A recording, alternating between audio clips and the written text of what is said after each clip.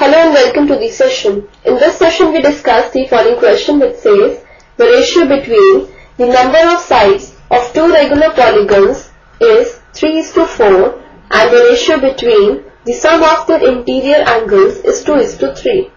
Find the number of sides in each polygon. Let us now discuss one result. Sum of the interior angles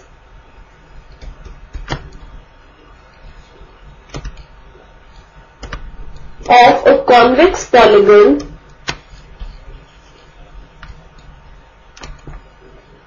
of n sides is equal to 2n minus 4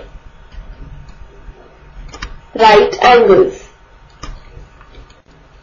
This is the key idea that we use in this question. Now move on to the solution. So in the question, we are given the ratio between the number of sides of two regular polygons and also we are given the ratio between the sum of their interior angles and we are supposed to find the number of sides in each polygon. So first of all, we suppose let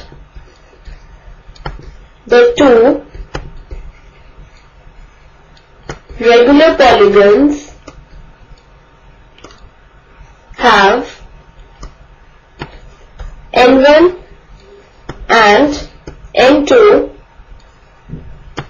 number of sides. So, according to the question,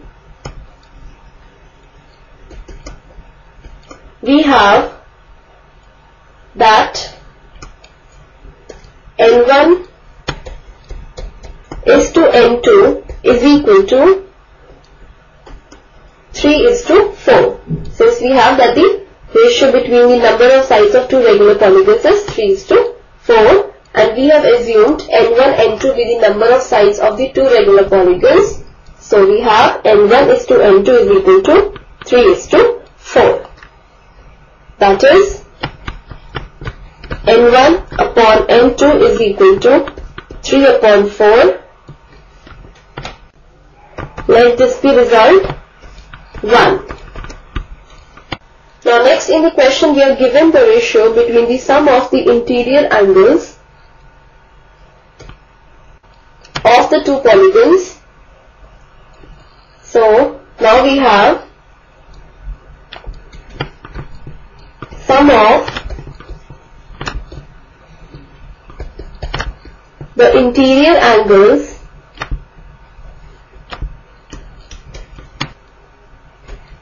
of the regular polygon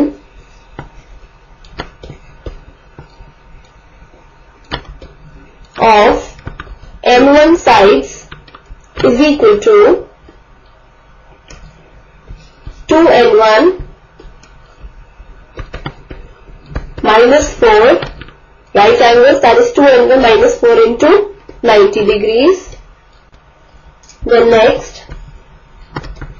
sum of the interior angles.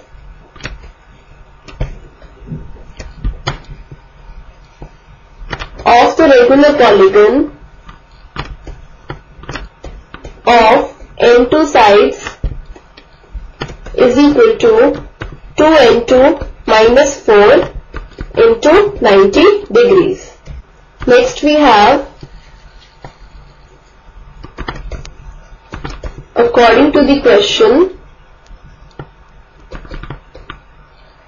the ratio 2 and 1 minus 4 into 90 degrees is 2 2 into minus 4 and this whole into 90 degrees is equal to 2 is to 3. So this is equal to 2 is to 3. This means 2 and 1 minus 4 and this whole into 90 degrees upon 2 and into minus 4 and this whole into 90 degrees is equal to 2 upon 3. Now this 90 degrees, 90 degrees cancel. Further cross multiplying we get 3 into 2 and 1 minus 4 the whole is equal to 2 into 2 and 2 minus 4 the whole. This means 6 and 1 minus 12 is equal to 4 and 2 minus 8. Further we have 6 and 1 minus 4 and 2 is equal to 12 minus 8. That is 6 and 1 minus 4 and 2 is equal to 4. Now from result 1 we have n1 upon n2 is equal to 3 upon 4. So we have since n1 upon n2 is equal to 3 upon 4 this means n2 is equal to 4n1 upon 3. So here we have further 6n1 minus 4 into 4n1 upon 3 is equal to 4. That is in place of n2 we put 4n1 upon 3. So here we have 6n1 minus 16n1 upon 3 is equal to 4. This means 18n1 minus 16n1 and this whole upon 3 is equal to 4 or you can say 2n1 is equal to 12 and now we have n1 is equal to 12 upon 2 2 6 times is 12 therefore we get n1 is equal to 6 and from here we have n2 is equal to 4n1 upon 3. So, substituting the value for n1, we get n2 is equal to 4 into 6 upon 3. 3, 2 times is 6 and 4 into 2 is 8.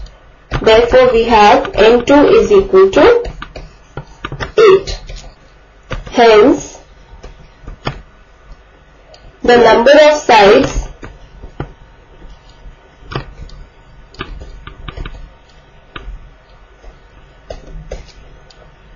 in each polygon are 6 and 8. So this is our final answer. This completes the session. Hope you have understood the solution of this question.